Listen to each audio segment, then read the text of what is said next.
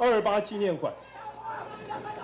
致辞到一半，抗议者突然冲进来，试图扑向台北市长蒋万安，但先被维安压制住。蒋万一脸尴尬，呛虾声仍此起彼落。杀人凶手下跪道歉。刚好经过这边看到而已。在二二八这一天，北市举办的纪念活动很不平静。民间团体无力者要求蒋万安为二二八事件下跪道歉，而且有意见的人还不止他们。抗议蒋万安，抗议蒋万安，滥设禁制区，滥设禁制区。二二八纪念公园周围传出不少抗议声浪，蒋万也在致辞时以市长身份正式向二二八受难者及家属道歉。身为台北市长，我深深为七十六年前。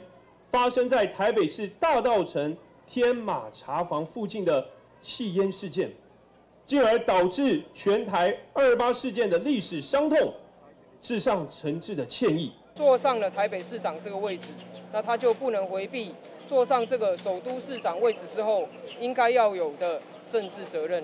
市议员苗博雅也跟其他两位议员在蒋万跟马英九演讲时无声举牌抗议，而今年拒绝跟北市府合办纪念活动的民团台湾国家联盟，则是选在自由广场前独自举办音乐会。未来还有没有合办机会，得看蒋万的表现。伊的态度那是正确，经过受难者的家属的同意，阮可能有法度通甲政府继续。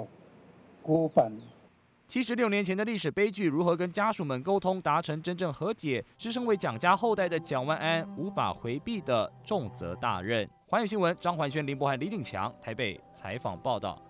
请订阅、按赞、分享环宇新闻 YouTube 频道，并且开启小铃铛，随时掌握全球时事与最新趋势。